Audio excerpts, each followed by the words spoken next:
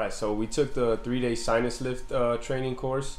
Um, first day was just didactic information. We got a wealth of knowledge. Um, it was it was nice because it, it basically set up the rest of the course. Uh, we were taught how to do it step by step, and then we got to implement it on the following days.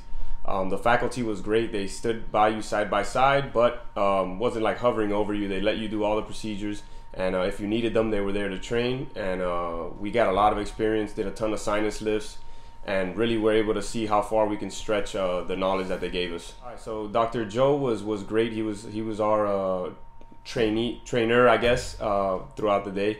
We did, we did all our surgeries with him, and uh, anytime we had any questions, he was there to answer them. Um, and he really pushed us to to test our skill set.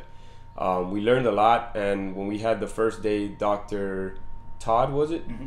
Yeah, Dr. Todd on the first day of the lecture, he did an amazing job just breaking everything down from you know the the complications, the biology of the sinus, just everything we needed to know. So we felt really comfortable going into that surgery day.